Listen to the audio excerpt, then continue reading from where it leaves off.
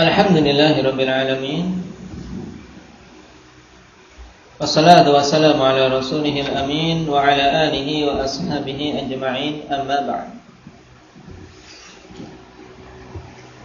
Kita masuk pada adab yang ke-11 Al-Hadi Ashar Qala al-Imam Ibn Jama'ah rahimahullahu ta'ala Alla yastankifa an ma la ya'lamuhu mimman huwa dunah. Ini juga penting. Karena banyak orang-orang yang telah diberi ilmu ikhwanifillah dia akhirnya tidak mau mengambil faedah, tidak mau mengambil teguran, tidak mau mengambil nasihat dari orang lain apalagi yang berada di bawahnya. Dikatakan di sini Allah yastankifa ayyastafida ma la ya'lamu. Hendaknya dia itu tidak gengsi untuk mengambil faidah dari orang dari uh, tidak mengambil tidaklah hendaknya dia tidak gengsi dari mengambil faidah perkara-perkara tidak dia ketahui. Mimman huwa dunah dari orang-orang yang di bawahnya. Kalau memang tidak tahu ikhwanifillah Nah, dan yang mengetahuinya adalah orang yang berada di bawahnya dari sisi ilmu, ya jangan gengsi untuk mengambil faedah darinya. Karena yang menjadi inti bagaimana kita bisa mengilmui hal yang kita tidak tahu. Nah, Taib. Kemudian diberikan tamyiz di bawahnya mimman huwa dunahu mansiba au nasaba au sinna. Hendaknya dia tidak gengsi untuk mengambil faedah perkara-perkara yang tidak dia ketahui dari orang-orang yang lebih rendah. Nah, dari sisi apa? Mansib, dari sisi kedudukan. Au nasaban atau dari sisi nasab. Misalnya dia seorang ahli bait. Nah, dan yang lainnya adalah orang-orang biasa apalagi orang ajam. Walaupun dari si nasab menaam di bawahnya tapi jangan dia gengsi untuk mengambil ilmu kalau memang dia tidak mengetahui. Ausinnan atau dari sisi umur. Nah, jangan seorang gengsi mengambil ilmu dari orang yang lebih muda kalau memang pada perkara itu dia tidak tahu. Bal yakunu harisan 'alal fa'idati haitsu kanat. Nah, Bahkan hendaknya dia itu nah, bersemangat untuk mendapatkan faidah di mana pun faidah itu berada. Tayyib wal hikmatu dhalatul mu'mini yaltaqituha haitsu wajadaha. Nah, dan hikmah itu adalah dhalatul mu'min, yaitu sesuatu yang naam hilang dari seorang mukmin. Maka apa? Yaltaqituha haitsu wajadaha. Dia nah, dituntut untuk mengambil sesuatu yang hilang tadi di mana pun dia mendapatinya. Diibaratkan dengan dola, yaitu apa? Seorang ikhwanifillah nah, memiliki kambing. Nah, memiliki kambing. Kemudian kambingnya ini lepas, hilang. Ini namanya dalah yaitu sesuatu yang hilang darinya lepas. Bahasa Jawanya bedal. Maka apa? Kapan saja dia mendapati kambing tersebut ya dia ambil. Demikian pula apa? Hikmah. Atau ilmu. Ilmu itu adalah sesuatu yang hilang tercecer dari seorang mukmin ketika dia tidak mengetahuinya. Asalnya memang itu hak dari seorang mukmin maka kapan saja dia mendapatinya ya harus diambil. Ini maksudnya. Dan kalimat ini Alhamdulillah diriwayatkan Naam marfu' Tayyib dari hadits Abi Hurairah radhiyallahu anhu akan tetapi pada sanadnya Naam ada riwayat atau ada perawi yang matruk yaitu Ibrahim Ibn al-Fadl Abu Ishaq al-Makhzumi al-Madani seorang yang matruk. Jadi bukan hadis, ini hanyalah sekedar dalam perkataan yang bagus. Maka oleh Syekh Hafizahullah taala tidak nak dipisah. Dalam artian itu sekedar kalimat. Walaupun di sana ada yang nah, menisbahkan sebagai satu hadis tapi hadisnya dhaifun jiddan. Qala Sa'id bin Jubair rahimahullah La yazalu rajulu aliman ma ta'allama taraka at-ta'alluma wa dhanna annahu qad istaghna waqtafa bima indahu fahuwa ajhalu ma yakun senantiasa seseorang itu alim ya dianggap berilmu selama dia belajar. Apabila dia meninggalkan untuk belajar dan menyangka bahwasanya dirinya telah cukup Naam wa dhanna annahu qad istaghna. Dia sudah merasa cukup, tidak perlu lagi belajar. Waqtafa bima indahu dan mencukupkan dengan apa-apa yang ada pada dirinya. Maka orang yang seperti ini fahuwa ajahal ma yakun, maka sungguhnya dia adalah orang yang paling jahil yang ada. Baik.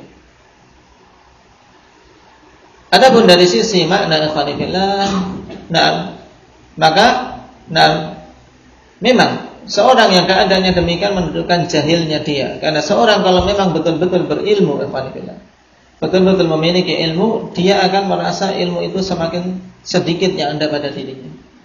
Karena luasnya samudera ilmu yang belum dia naam arungi. Baik, makanya kebanyakan nah, sebagian talib di awal-awal mulai apa belajar mulai terbuka pemahaman seakan dia sudah Syekhul Islam Taimiyah. Tapi semakin terus menerus belajar dia akan semakin merasa bahwasanya dia tidak punya apa-apa. Dia tidak tahu apa-apa. Baik. Karena memang seorang alim yang betul-betul alim akan sadar, nah, bahwasanya harus terus menerus apa mencari tambahan. Perhatikan Rasul Shallallahu Alaihi Wasallam tidak ada yang lebih berilmu dari Naam umat beliau melebihi Rasulullah SAW. Dalam kondisi demikian Allah Subhanahu wa taala perintahkan wa qul rabbi zidni ilma. Ini jelas. Nah, berarti kalau sampai dia mencukupkan diri memang dia menunjukkan jahil. Dan ini sebab seseorang apa? akan terjatuh dalam perbuatan tughyan, dan kalau kita perhatikan memang demikian. Kalau orang sudah menganggap dirinya tidak butuh belajar lagi ya Tidak butuh murajaah Nah, taib Atau tidak butuh mengambil ilmu dari yang lain Datang ulama Sudah tidak butuh lagi. Nah, maka biasanya terjatuh dalam Toha, perbuatan melampaui batas. Kalla Innal insana la yadgha Ar-ra'ahu Baik, sungguhnya manusia itu akan berbuat melampaui batas. Kapan itu ar-ra'ahu stagna tatkala dia memandang dirinya apa sudah cukup, sudah tidak butuh kepada yang lain. Dan yang paling parah kalau sudah tidak butuh kepada ulama. Nah, kalau sudah merasa tidak butuh kepada ulama, maka ini musibah. Padahal kita diperintahkan oleh Allah Subhanahu wa taala untuk apa? Bertanya kepada mereka. Naam. Fas'alu ahla dzikri in kuntum la ta'lamun dan mengembalikan perkara-perkara yang berhubungan dengan maslahah luas bagi kaum muslimin kita kembalikan kepada pemahaman para ulama. Baik. Sebagaimana Allah Subhanahu wa taala katakan, Taib idza ja'ahum amrun minal amri awil minal amni awil khawfi adha'u bi walau radduhu ila rasul wa ila ulil amri minhum la'alimahu alladhina yastambitunahu minhum ini yang bisa mengambil istinbat dari hal-hal yang menimpa kaum muslimin ya para ulama Baik. Walaupun dari sisi sanad, athar Sa'id bin Jubair pada sanadnya ada tiga illah. Talha bin Zaid Ar-Raqi matruk juga Yunus bin Abi Syabib majhul Naam dan Muhammad bin Hanifah laisa bil qawi sehingga riwayatnya dhaifun jiddan. Namun riwayat tersebut dhaif jiddan.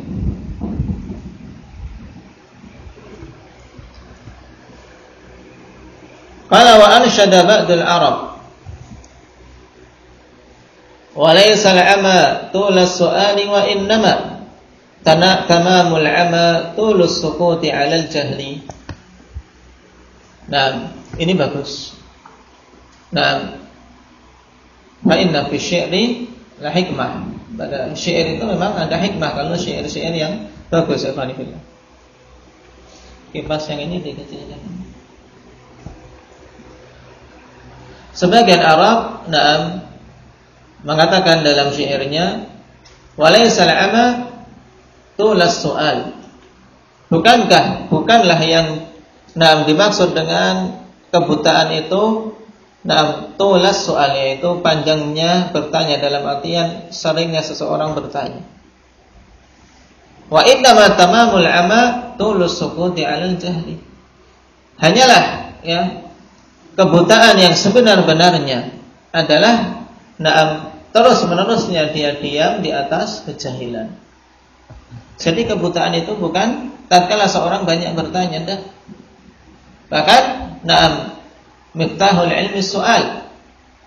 Ya kunci untuk seorang bisa tahu ya dengan bertanya Nah, makanya dikatakan di sini tamamul ama tulus sukuti alal jahli. Ya. Kebutaan yang sempurna, yang benar-benar buta kalau dia apa, terus menerus diam di atas kejahilan dia, ya nggak apa-apa. Malu mau bertanya. Tayyib yang lebih tepat apa? Tidak mampu untuk bertanya. Taib akhirnya membiarkan dirinya ya di atas kejahilan terus. Wa kana jama'atun minas salafi yastafiduna min talabatihim ma laysa indahum. Dan adalah dulu sederetan para salaf mereka mengambil faedah dari murid-murid mereka tentang apa? Hal-hal yang tidak mereka miliki. Makanya dalam kitab hadis pun apa? Ada yang namanya apa? Riwayat akabir anil asagir. Nah, dari kibar meriwayatkan dari yang lebih muda. Tayyib Syekh meriwayatkan dari muridnya. Karena yang diinginkan adalah faidah, bukan gengsi. Qala al-Humaydi wa huwa tilmidhu Syafi'i dan guru siapa ini? Humaydi? Hah? Imam Bukhari rahimahullah taala. قال الحميدي وهو تلميذ الشافعي صحبت الشافعية من مكة إلى مصر Fakuntu astafidu minhul asail. Di sini perlu ditambahi hamzah. Astafidu. Hamzahnya hamzah kotak. Di atas alif. Jadi hamzah tumpangkan di atas alif. Nah, Fakultu astafidu minhul masail Wa kana yastafidu minnil haditha Ya Humaini yang dia notabene adalah murid dari Imam Syafi'i mengatakan aku menyertai Imam Syafi'i dari Mekah menuju ke Mesir. Maka saat itu, nah, aku apa mengambil faedah dari beliau permasalahan-permasalahan karena Imam Syafi'i diberi apa? hibah, diberi anugerah oleh Allah Subhanahu wa taala dari tajamnya pemahaman, kekuatan dalam mengambil istimbat. Wa kana yastafidu minnil hadith dan beliau mengambil faedah dariku tentang hadis. Dan Humaidi, na'am, a'immah di antara a'immatul hadith. Bahkan apa? Orang yang pertama kali riwayatnya disebutkan dalam Sahih Bukhari. Kalau antum buka Sahih Bukhari, pertama kali Imam Bukhari mengatakan apa? Haddatsana al-Humaidi. Tayyib.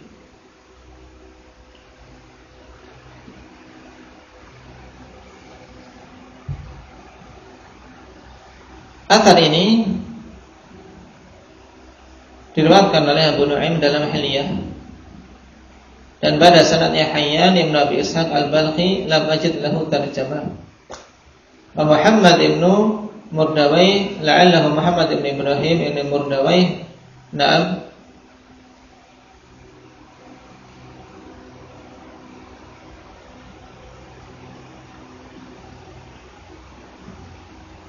Misbahnya kurang paham bagaimana betul.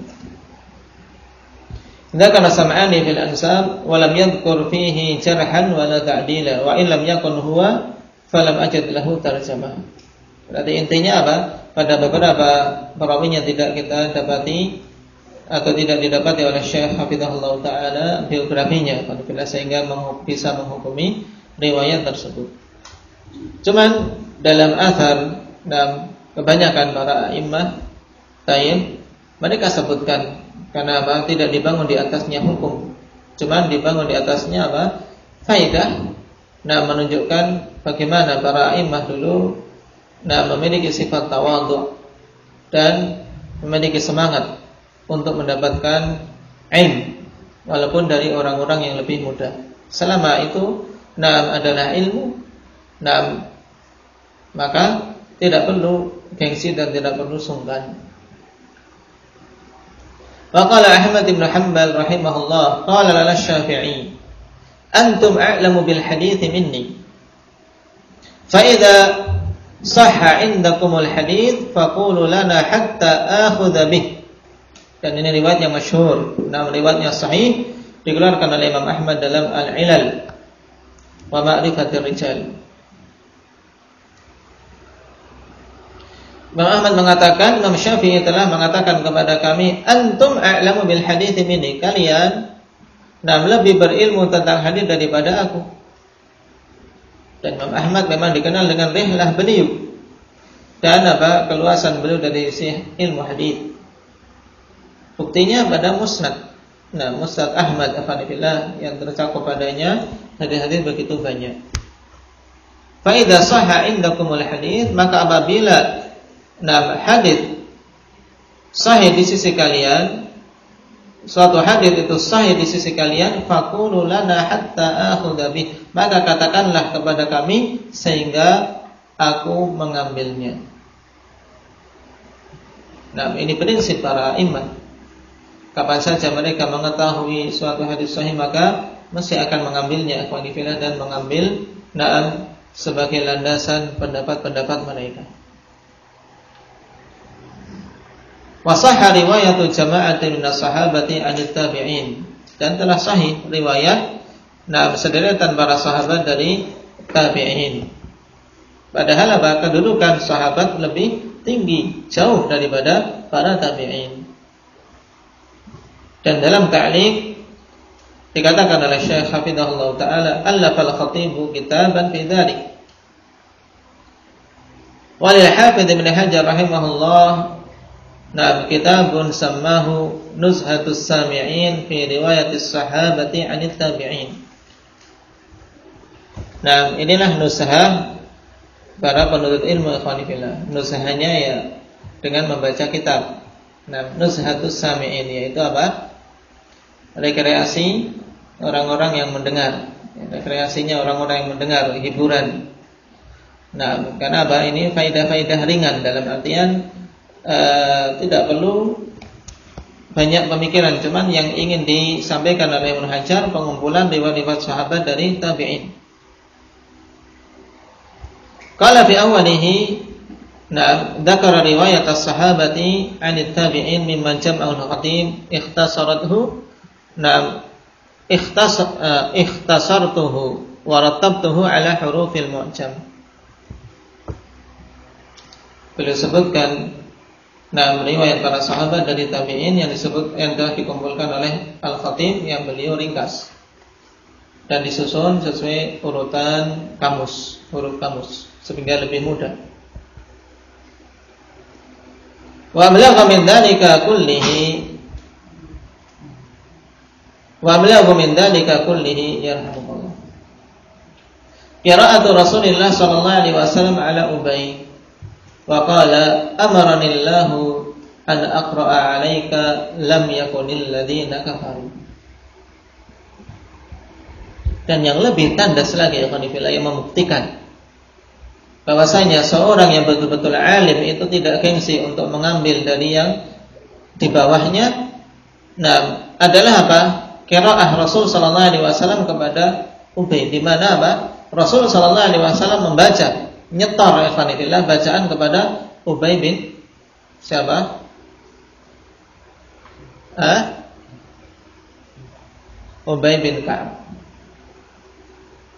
Yang apa? Merupakan imam di antara imam-imam qiraah para sahabat.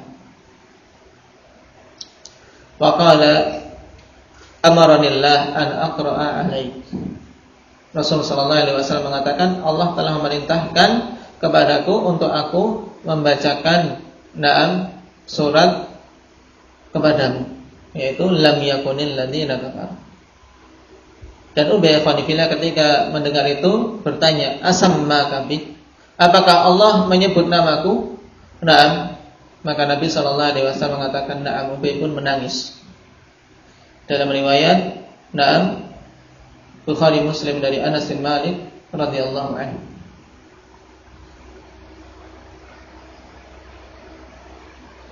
Ini syahid kepada Rasul Sallallahu Alaihi Wasallam dan tidak ada keengganan sedikit pun, walaupun apa dia nah membacakan ya menyetorkan bacaan Al-Qur'an kepada naam sahabatnya.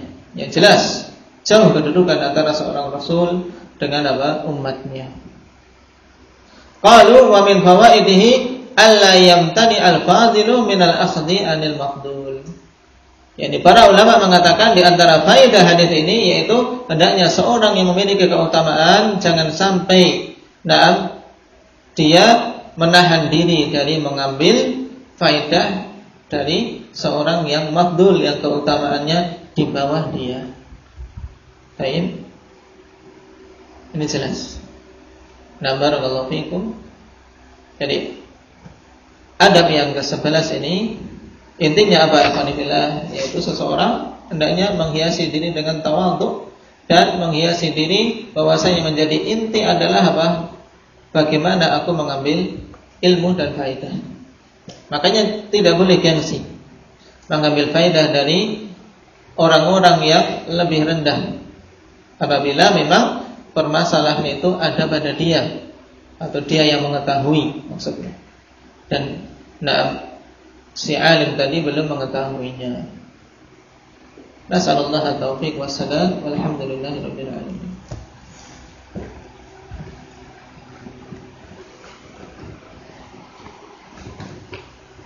apa ini? Hah? Tafsir atau apa? Hah?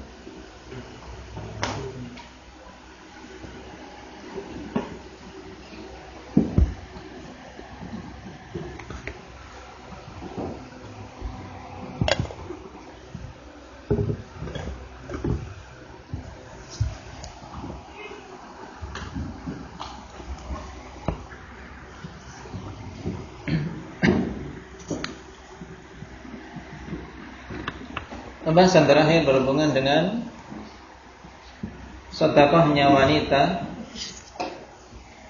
dari harta yang dia miliki. Kesimpulannya bagaimana ini? Seorang wanita memiliki harta ingin bersedekah. Bagaimana kesimpulannya Abdul Malik?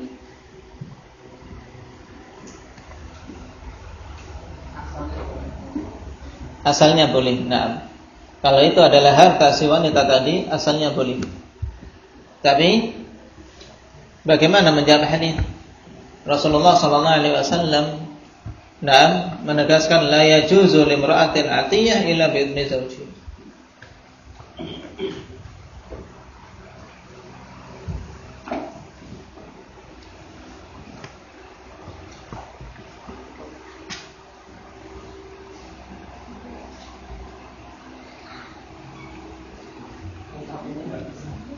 Bagaimana Abu Zaid? Nah, untuk menjaga perasaan dalam artian Rasulullah Sallallahu Alaihi Wasallam melarang di sini larangan yang sifatnya apa? Tidak sampai derajat haram. Karena apa? Itu adalah hak milik dia. Kalau memang itu harta si wanita. Tapi Rasulullah larang untuk apa? Untuk menjaga keharmonisan antara dia dengan suaminya. Karena biasanya kalau enam seorang istri kok mensedekahkan harta milik dia tanpa sepengetahuan suami, maka ya akan menimbulkan sedikit problem, merasa tidak dihargai atau yang lain. Adapun kalau harta itu milik suami, bagaimana? Nah, Aba Arif. Seorang istri ingin bersedekah dengan harta milik suaminya.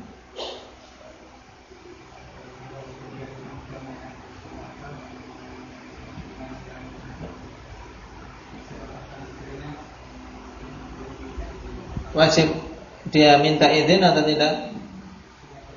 Hah?